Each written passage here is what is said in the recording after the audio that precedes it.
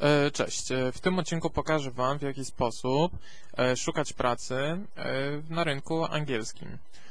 Macie taką stronę, która się nazywa monster.co.uk. Link do tej strony umieszczę na dole mm, w komentarzu do tego filmu.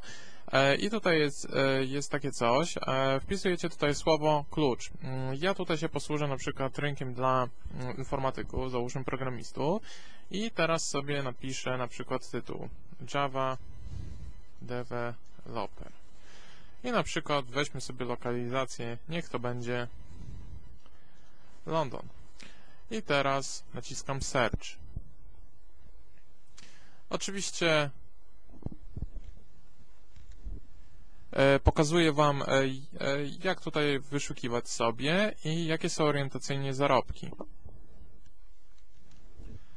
Więc tutaj mamy sektor bankowy, investment banking i widzimy tutaj zarobki już 55 do 75 tysięcy. E, Core Java Developer, Java and Oracle Developer, Senior Java, e, Java Developer FX, e, Java Developer Spring i tak dalej. Weźmy sobie, zobaczmy. Tutaj macie kontrakt Java Developer mm, w Londynie. Weźmy sobie, zobaczmy kontrakt na przykład. Teraz się otwiera strona. I teraz widzimy, że to jest od 400 do 500 funtów na dzień, a y, kontrakt y, duration, czyli trwanie kontraktu od 3 do 6 miesięcy.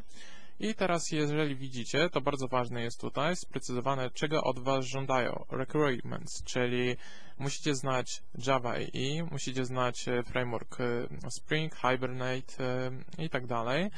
E, I oczywiście Enterprise Design Patterns. E, Czyli powiedzmy, jak już na kontrakt się idzi- idziecie i tu jest napisane, że musicie posiadać 4 lata doświadczenia jako, jako deweloper e, w Javie. E, Więc, e, mm, więc e, widzicie, na kontrakt, żeby tu dostać kontrakt, jeżeli chodzi o rynek angielski, to już musicie mieć naprawdę solidne podstawy. Ale sprawdźmy sobie na przykład, e, no na przykład weźmy tą pierwszą co- Core Java Developer pozycję. E, Hayes jest to agencja pracy, znana też na rynku polskim, już z tego co się orientuję, Mm, więc nie tylko na rynku angielskim jest i tutaj oferuje od 55 do 75 tysięcy funtów na rok. Oczywiście sektor bankowy jest najlepiej i tu widzimy doświadczenie minimum 4 lata. E, I tutaj mamy już e, wypisane, jakie są kluczowe e, techniczne wymagania, czyli Core Java Developer Experience, some C Sharp Developer Experience.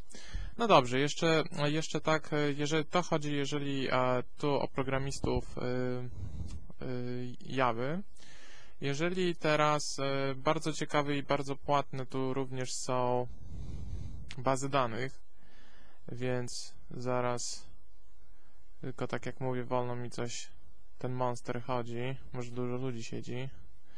No to taki duży portal praktycznie mm, do szukania pracy, bo tu można w każdym praktycznie zawodzie znaleźć. E, Ale weźmy sobie na przykład Oracle e, Database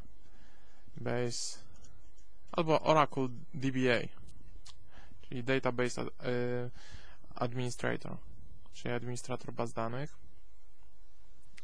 I tu mamy mm, Oracle de, y, Application DBA, Team Lead, to już takie stanowisko, ale weźmy sobie Oracle SQL Server Data, mm, Database Administrator. Tu widzę, że zarobki chyba akurat nie podane są. Tu jest, macie kontrakt 4 miesiące i tutaj macie wymagania. Mm, Czyli jakie systemy Oracle, 9, 10, 11, Microsoftu, SQL Server 2000 i tak dalej. I tu znajomość Linuxa, Unixa, Windowsa. E, pokażę Wam, e, pokażę Wam jeszcze, mm, poszukamy sobie pracy, na przykład, na przykład e, programista.net, czyli jeżeli chodzi o Anglię, to programiści dużo zarabiają, ponieważ y, no, jest to przyszłościowy zawód, chociaż ciężki.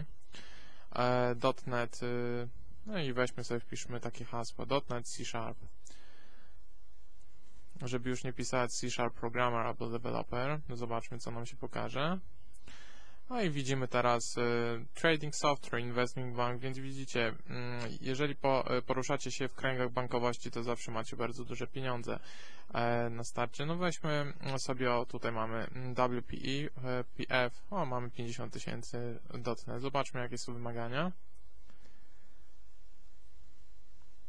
Jeżeli macie doświadczenie i przyjeżdżacie do Anglii pracować jako programista, to możecie liczyć na takie zarobki. Tu widzicie Education Level, to jest Bachelor Degree, czyli licencjat wystarczy mieć. E, tutaj widzicie zarobki 50-60 tysięcy i tutaj macie Essential Skills, czyli wymagania, czyli tu macie Outstanding Knowledge, czyli bardzo wymagają, bo nikt wam nie zapłaci takich zarobków, jak nie umiecie nic, tak? Czyli mamy C Sharp, .NET, ASP.NET, czyli mm, Następnie są technologie e, ZAML, e, WPF, więc e, wszystko wokół technologii Microsoftu. Ale dla osób, które mm, przyjeżdżają i nie mają doświadczenia, to na przykład pokażę Wam pozycję tak zwane junior, czyli junior na przykład Java Developer. Więc mam pozycję junior, czyli młodszy, Java developer, czyli taki średni i senior to już ten. I patrzcie, już junior macie, widzicie, graduate, czyli na przykład osoba, która właśnie skończyła mm, uniwersytet e, i mamy junior Java developer. Chociaż jeżeli chodzi o programistę, to tutaj niewymagane w sumie jest wykształcenie, bardziej wiedza, mm, ale dla niektórych pracodawców jest to ważne, ponieważ tu widzicie, że tutaj musi być tu, e, czyli bardzo wysokie te degree, e, or higher from UK University, to nawet precyzują, ale jak macie skończone, to można tutaj zawsze zrobić nostryfikację, znaczy przetłumaczenie waszego i porównanie waszego, waszego, waszego wykształcenia na, do UK i tu macie na starcie od 25 tysięcy na rok wzwyż. Mm, I oczywiście tutaj macie bardzo fajnie te, te, jeszcze dodatkowo jak kogoś polecicie, to możecie dostać, e, no tu pisze iPada, dwójka albo 500 e, funtów gotówki, jeżeli ta osoba poprawnie zda testy mm, do przyjęcia na tą pozycję, e, więc tym kuszą te agencje pracy. Tu macie bardzo ważny, jeżeli dzwonicie, tutaj macie numer telefonu, akurat to jest numer telefonu londyński, tu mamy nazwę agencji Premier Group, tu mamy osobę kontaktową Paul Hunter e, i tu widzicie jeszcze raz company Premier Group Location London, e, jaka jest e, industry, czyli no, jaka jest branża, tak, computer software i tutaj macie full time, czyli to co Was interesuje, czyli praca na pełny etat, permanentna umowę na stałe. E, czyli zawsze jak dzwonicie na przykład na ten numer, e, pytacie się o tego Pawła i musicie podać job e, reference code, bo oni mają dużo tych pozycji pracy i nie wiedzą, do, o którą się pytacie. I tutaj macie jeszcze wymieniony Jura Java Developer, co jest wymagane Java, Spring, Hibernate, więc to jest popularne, więc to chciałem Wam pokazać, jak się szuka łatwo pracy, oczywiście jeżeli chodzi o branżę informatyczną na terenie Anglii. E, to wszystko w tym krótkim wideo i e, do usłyszenia. Trzymajcie się, hej.